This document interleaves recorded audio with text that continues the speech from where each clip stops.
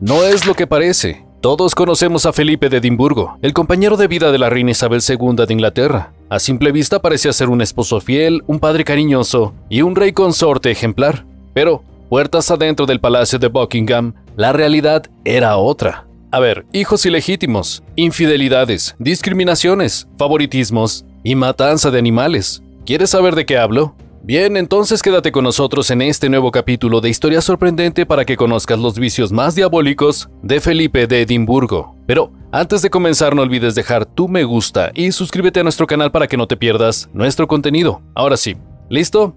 Ponte cómodo que empezamos. Todos sabemos quién es Felipe de Edimburgo. Hemos visto fotografías de él junto a la difunta reina Isabel II y conocemos su historia gracias a la famosa serie de Netflix The Crown. Pero lo cierto es que la serie no contó su historia de manera fiel y completa. Su vida fue más impactante de lo que parece a simple vista. Veamos. Su nombre es Felipe Mountbatten. Nació en la isla griega de Corfu el 10 de junio de 1921. Su madre fue la princesa Alicia de Battenberg y su padre fue Andrés de Grecia y Dinamarca. Felipe era el quinto hijo de la pareja y el único varón. Su familia pertenecía a la realeza griega y danesa y tenía conexiones con otras casas reales europeas. Sin embargo, a pesar de su posición social acomodada, la infancia de Felipe no fue como la de Isabel, llena de lujos y sin preocupaciones. No, y es que Felipe creció en un país caracterizado por una gran inestabilidad política. Cuando Felipe tenía un año de vida, su tío el rey Constantino I de Grecia fue forzado a abdicar y la familia real tuvo que huir y buscar asilo en el extranjero. La huida de Grecia fue espantosa.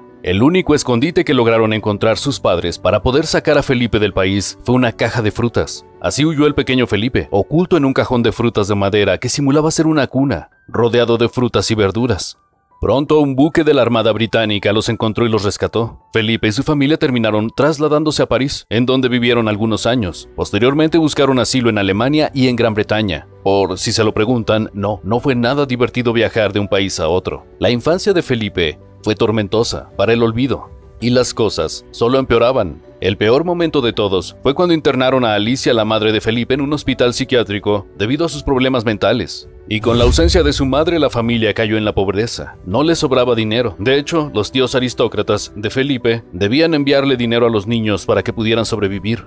Años más tarde, las hermanas de Felipe contrajeron matrimonio con príncipes alemanes que se codeaban con los grandes líderes del nazismo, mientras Felipe permaneció en la escuela de Salem y posteriormente viajó a Escocia para estudiar en la Gordonstoun. Sí, estoy seguro de que has escuchado sobre esta institución. Felipe estudió allí, su hijo Carlos también. En esa escuela aprendieron disciplina y liderazgo. Pero claro, si quieren saber más sobre la experiencia, esperen al finalizar y hagan clic en el video que aparecerá en pantalla. Créanme, no se van a arrepentir. Es quizá la mejor historia que vas a escuchar sobre Carlos III. Muchos no lo saben, pero Felipe, el duque de Edimburgo, esposo de la reina Isabel II de Inglaterra, ha sido criticado por ser racista e insensible. El pueblo inglés pensaba que su rey era discriminador y que precisamente por sus comentarios despectivos, desacertados y poco afortunados contra minorías o grupos oprimidos, Muchos países del mundo tienen una imagen negativa de Inglaterra. Ok, pero a ver, ¿qué comentarios hizo Felipe de Edimburgo? Bueno, veamos. En el año de 1986 el esposo de la reina Isabel II visitó China y allí dijo, Ay, si usted permanece aquí mucho tiempo, sus ojos se pondrán rasgados. Ah, Felipe pensó que una broma de este tipo sería agradable y perfecta para romper el hielo, pero la verdad es que a los chinos no les cayó para nada en gracia su comentario. Y los chinos no fueron los únicos que padecieron los comentarios discriminatorios de Felipe de Edimburgo, no. El rey consorte calificó a los escoceses como borrachos, a los nativos de Nueva Guinea como caníbales y a los caribeños como piratas. ¡Wow! También cuestionó a Taylor de Warwick, un miembro de la Cámara de Lores de raza negra, preguntándole de qué exótico lugar del mundo provenía, sin saber que Taylor era de Birmingham, Inglaterra. ¡Wow! Sí, qué vergonzoso. Ah, pero Felipe de Edimburgo no solo hizo comentarios despectivos hacia otras culturas, sino que también emitió comentarios sexistas y machistas contra las mujeres. En 1962, durante una visita a un instituto escocés de mujeres, dijo, Las mujeres británicas no saben cocinar. En el año 2002, en un evento público, cuando se enteró de que la famosa cantante de pop Madonna interpretaría una canción, preguntó, ¿Necesitaremos tapones para los oídos? Ok, no, y espera. En otra ocasión le dijo enojado a una abogada que las mujeres no pueden dedicar su vida a hacer trabajos relacionados a las leyes, así que como verán, el duque no se guardaba para sí mismo sus comentarios poco delicados. Sin embargo, quizá el peor comentario de Felipe de Edimburgo fue el que le hizo a Andrew Adams.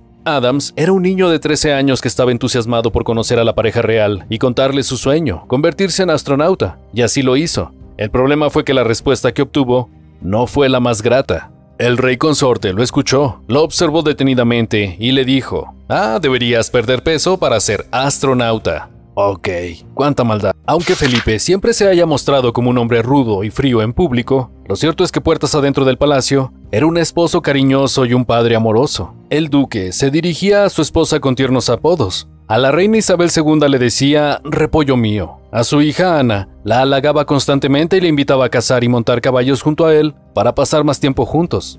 Como abuelo, fue excepcional. Siempre hacía chistes y jugaba a juegos de palabras con sus nietos. Incluso fue cariñoso con Lady Di, Felipe y la princesa Diana mantenían una relación excelente, se mandaban cartas y mantenían largas charlas. De hecho, Felipe intentó mediar para evitar la separación entre Lady Di y su hijo. Sin embargo, la relación que el duque estableció con su hijo el príncipe Carlos era bastante especial. Con Carlos no fue tan tierno, fue un padre severo y exigente. Ambos tenían ideales distintos y su forma de afrontar la vida era totalmente opuesta. El choque de personalidades hizo que Felipe se convirtiera en un padre hostil con Carlos. La enérgica personalidad de mi padre me tenía totalmente intimidado. Sus regaños constantes me llevaban a las lágrimas, declaró el príncipe heredero de la corona. La pelea más cruenta de todas entre el duque y su hijo ocurrió en 1995. La razón de la discusión fue un jardín. Sí, un jardín. Felipe tomó la decisión de talar 63 viejos robles que yacían en el parque del castillo de Windsor. Carlos, cuando se enteró de la noticia, acusó a su padre de vándalo Claro que estas palabras no le gustaron para nada al duque y comenzaron una acalorada discusión. Según fuentes cercanas a ambos, el príncipe y el duque pasaron varias semanas sin dirigirse la palabra.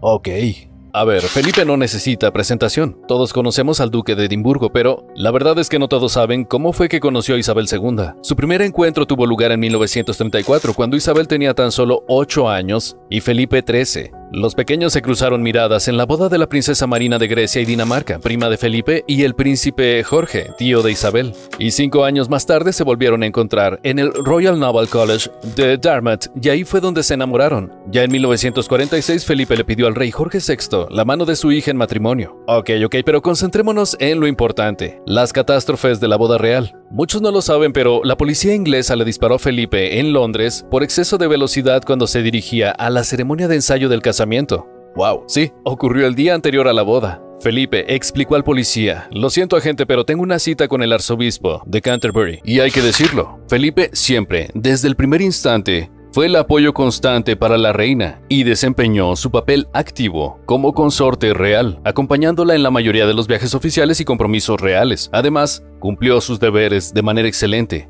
Felipe fue un apasionado defensor de las diversas causas sociales y promovió el desarrollo de la juventud, la conservación del medio ambiente y el fomento al deporte en Reino Unido. En 1961, Felipe de Edimburgo se unió a Greenpeace, una de las organizaciones ecologistas más importantes del mundo, y juntos fundaron WWF, el Fondo Mundial para la Naturaleza, y hasta aquí la historia suena bastante bien. El problema es que al poco tiempo de este hecho salió a la luz que, tan solo unos meses antes, el rey consorte inglés había sido invitado a un evento poco respetuoso con el medio ambiente y la fauna natural. Se trataba de una expedición de caza de tigres de Bengala en India, y Felipe no pudo negar que asistió a la caza con bastante gusto, así que no tuvo otra salida que renunciar a su nueva colaboración con Greenpeace. Y es que es Vox Populi. El duque de Edimburgo sentía un gran amor por los barcos, los aviones y el polo, pero sin dudas, una de las actividades favoritas del duque de Edimburgo era salir de cacería con su rifle en la finca de Balmoral. Sí, a veces solo y a veces acompañado de su familia.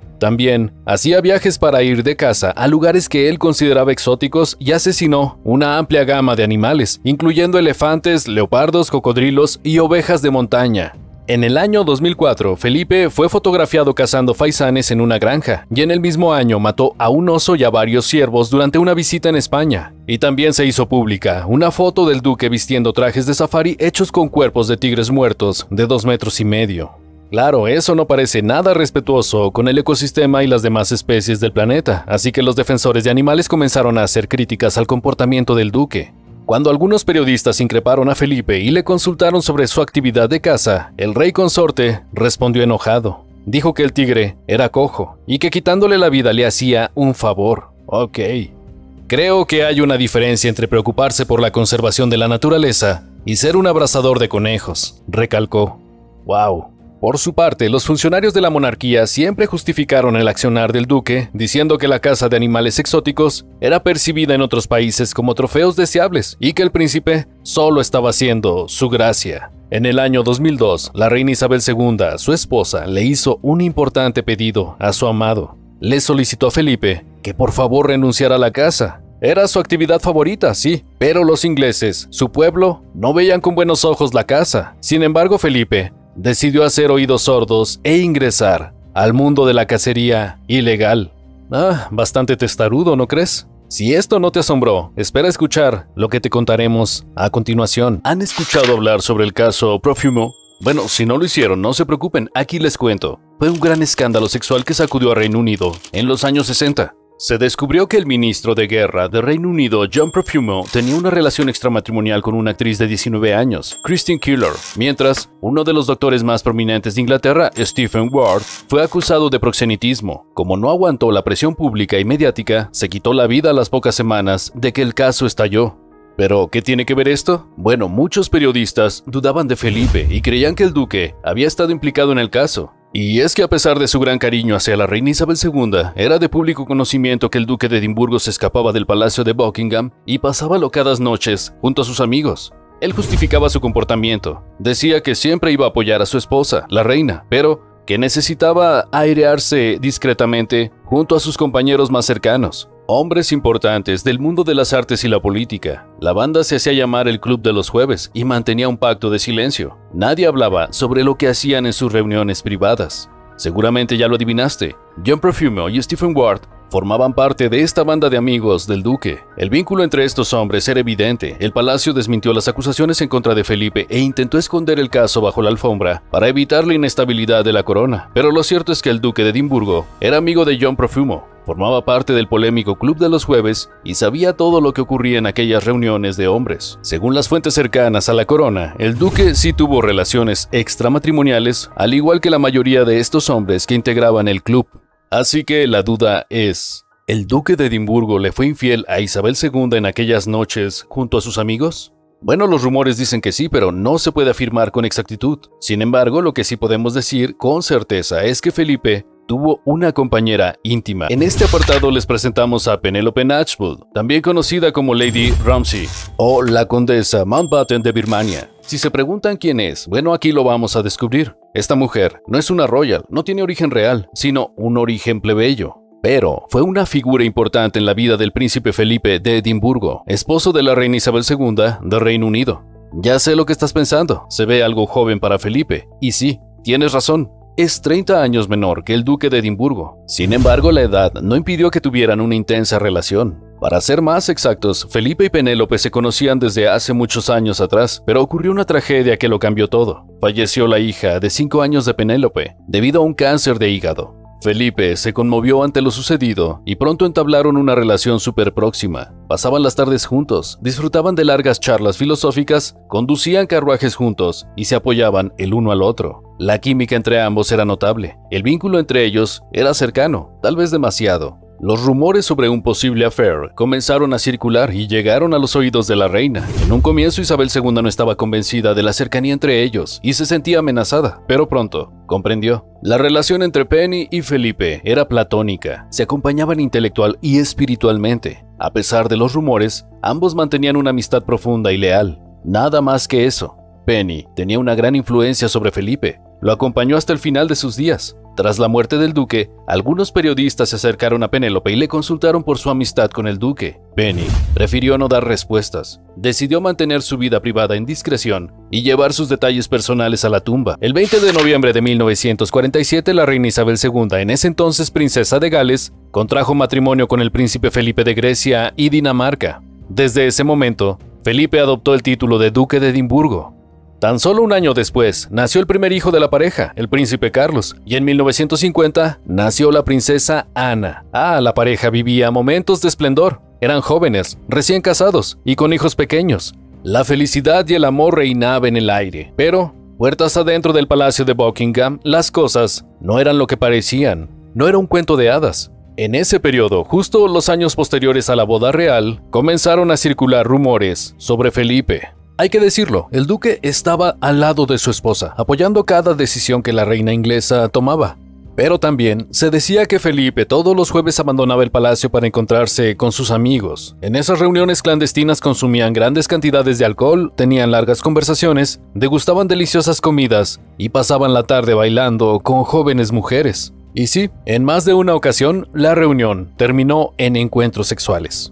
Durante los primeros años de la década de 1950, los rumores de infidelidad del duque de Edimburgo comenzaron a circular cada vez con más fuerza. La lista de amantes que se atribuía al duque era realmente larga y el paso del tiempo solo empeoraba las cosas. Algunos amigos de Felipe hicieron declaraciones sobre él. Dijeron que la vida en la Casa Real Británica no era como él había imaginado. Vivía a la sombra de su mujer y su palabra no tenía peso.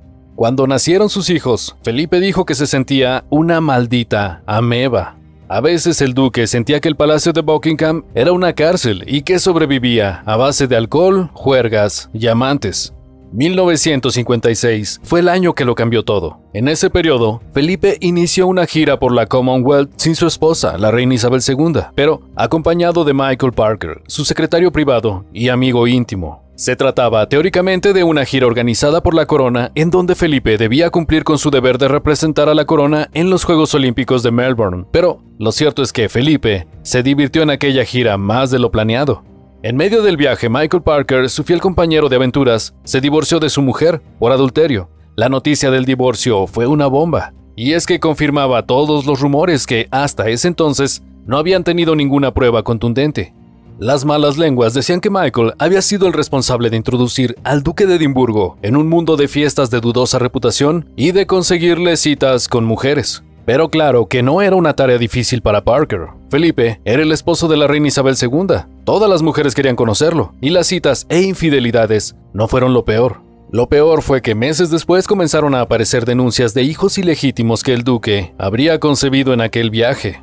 Fue tal el revuelo que Buckingham tuvo que emitir un comunicado en el que se negaba el supuesto distanciamiento de la pareja real. El duque, para brindar tranquilidad a su pueblo y calmar los rumores, tuvo que responder a las preguntas de la prensa y desmintió todas las aventuras que se le atribuían. ¿Alguna vez te has parado a pensar que desde hace años no voy a ninguna parte sin que un policía me acompañe? ¿Cómo demonios iba a esconder una cosa así? contestó Felipe, molesto. Por su parte, Isabel II, para evitar el divorcio, tuvo que aguantarse el enojo, hacer oídos sordos y perdonar todas y cada una de las aventuras de Felipe, y tuvo éxito. El matrimonio de Isabel y Felipe fue el matrimonio real más duradero de la historia. La unión duró 73 años. ¿Sabías eso? Muchos no lo saben, pero el duque Felipe de Edimburgo hizo un pacto con su esposa, la reina Isabel II, antes de fallecer. Hace poco más de dos años, semanas antes de la muerte del príncipe de Edimburgo, los Royals se sentaron a hablar. Tuvieron una conversación profunda, hablaron de la vida, del matrimonio y de la muerte, y también hablaron sobre cómo reaccionarían sin la compañía del otro en caso de que uno falleciera antes. Según cuenta Richard Kay, periodista cercano a la realeza, en ese momento la reina y el duque hicieron un conmovedor acuerdo. ¿Cuál fue el pacto que hicieron? Bueno, básicamente acordaron que el que quedara con vida tras el fallecimiento del otro tendría un breve periodo de luto y luego disfrutaría plenamente de sus días restantes. Es decir, sí, estarían tristes ante el fallecimiento de su compañero, pero después había que disfrutar la vida y de sus hijos y nietos. En ese momento, ninguno de los dos imaginaba que quien debería despedirse del otro y continuar con su vida sería la reina Isabel II. Felipe falleció el 9 de abril del 2021 y la reina Isabel II el 8 de septiembre del 2022. ¿Por qué hicieron este pacto? Bueno, la propuesta fue de Felipe. La reina aceptó el acuerdo sin dudar. Y es que ambos eran plenamente conscientes de que ya no tenían 20 años y que no les quedaban muchos años más por delante. Creyeron que hacer un pacto así era un acto de demostración de amor hacia el otro. Así se aseguraban de que quien viviera más tiempo no viviera hundido en la depresión y la angustia. Dicho y hecho, la reina Isabel II cumplió su promesa. Despidió con tristeza a su amado duque y después continuó con su vida tal como lo había hecho, asistiendo a actos oficiales, programando encuentros semanales con el primer ministro, disfrutando de sus hijos y sus nietos y yendo de casa a los alrededores de su castillo en Balmoral. Todo, con una fuerza y resistencia notables. La única vez que la reina Isabel II rompió su promesa fue en el aniversario de la muerte del duque, la misa conmemorativa en honor a Felipe se llevó a cabo en la abadía de Westminster. Los invitados notaron la emoción y la tristeza en los ojos de la reina cuando recordaba a su difunto esposo. Los ciudadanos comunes del mundo suponemos que los miembros de la monarquía son educados y formados en amplios campos del conocimiento, y por lo tanto, todo lo que hacen lo hacen con gran destreza y sapiencia, pero esta es una creencia bastante errónea. Los reyes no son perfectos, y el duque de Edimburgo tampoco. Ya lo vimos, Felipe hacía comentarios desafortunados, hizo peligrar su matrimonio y era un pésimo conductor de autos. Sí, así como lo escuchaste. El duque de Edimburgo era excelente en todo lo referido a aviones, pero era un peligro frente al volante de los automóviles. En el año 2019, con 97 años de edad, Felipe sufrió un terrible accidente automovilístico. Cerca de su casa de campo, su Land Rover volcó después de chocar con otro automóvil. Afortunadamente, según el comunicado que emitió el Palacio de Buckingham, nadie salió herido de gravedad. Solo hubo algunas heridas leves. El marido de la reina Isabel II pudo salir con facilidad del automóvil, ya que fue ayudado por algunos testigos presenciales. El comunicado oficial afirmaba que Felipe estaba consciente, pero temblaba por la conmoción del choque inesperado. Sí, ya sé lo que puedes estar pensando. ¿97 años? ¿Es una broma? ¿Que acaso la realeza inglesa no tiene a su disposición choferes? Bueno, la respuesta es que sí, pero por testarudez, Felipe se encaprichó en manejar el auto con sus propias manos. Sí, repito, a sus 97 años. Las consecuencias fueron nefastas y pudieron haber sido peor. Ok, llegó el momento de hablar del gran secreto de Felipe. Como sabemos y hemos dicho anteriormente, Felipe al casarse con Isabel II se convirtió en miembro oficial de la monarquía británica y conservó su estatus hasta el día de su muerte el 9 de abril del 2021. El príncipe Felipe de Edimburgo se llevó a la tumba un secreto peculiar, su testamento. Y créeme, no estoy exagerando. Escucha esto. La última voluntad del esposo de la reina Isabel II de Reino Unido permanecerá en secreto durante los próximos 90 años. Sí, 90 años. Así lo dictaminó el Tribunal Supremo de Londres y lo ratificó el Tribunal de Apelación tras un recurso presentado por el diario británico The Guardian. Seguro te estarás preguntando por qué intervino la justicia de Reino Unido. Así que te lo explico brevemente. Desde 1911, la realeza británica mantuvo en secreto 33 testamentos, pero eso, en realidad, es ilegal. La ley de Reino Unido requiere que los testamentos de los ciudadanos británicos sean públicos. Cuando el duque Felipe de Edimburgo falleció, el medio de comunicación The Guardian se presentó ante la justicia. Para ellos, había un conflicto legal. La familia real inglesa históricamente antepuso el derecho a la intimidad, al derecho a la libertad de prensa y al derecho a la justicia abierta. Y hay una razón por la que se comporta de este modo, el dinero. En los testamentos la familia real se reparte en números millonarios. Según The Guardian, hasta el día de la muerte del duque, los Royals se han repartido activos por un valor de al menos 187 millones de libras, es decir, unos 227 millones de dólares a precio actual. Y para ellos, ahora el pueblo merece saber qué dice el testamento de Felipe. Pero no, The Guardian no lo logró. La justicia británica ha optado por proteger la intimidad de la reina Isabel II y sus allegados. Era esperable. El Poder Judicial inglés nunca ha rechazado una de estas peticiones de mantener los testamentos privados de la realeza. Para los jueces, publicar el testamento para el público habría socavado la intimidad de la familia real y la dignidad de la reina. Por eso, tomaron una decisión decretaron que la voluntad de Felipe de Edimburgo permaneciera resguardada por los próximos 90 años. Así que si quieres saber cuál fue la última voluntad del duque de Edimburgo, cuídate, come bien, haz ejercicio, porque bueno, deberás ser bastante paciente. Todos los secretos de su testamento quedarán guardados por nueve décadas en una caja fuerte en los reales tribunales de justicia de Londres, junto con los de, hasta el momento, los otros 32 miembros de la familia real. ¡Wow! ¿Sí? ¿Tú sabías esto? ¿Te gustaría escuchar una curiosidad antes de despedirnos? Bien, el duque sentía un gran amor por los caballos, pero su verdadera pasión era la pintura y la cerveza. Sí, la cerveza. Adoraba beber alcohol y disfrutar de su plato favorito, comida picante y kulibiak de salmón. ¿Lo has probado? ¿Qué opinas del Duque de Edimburgo? Déjanos un comentario y mientras lo haces no olvides ver uno de estos otros videos de nuestra sorprendente historia. Hasta la próxima.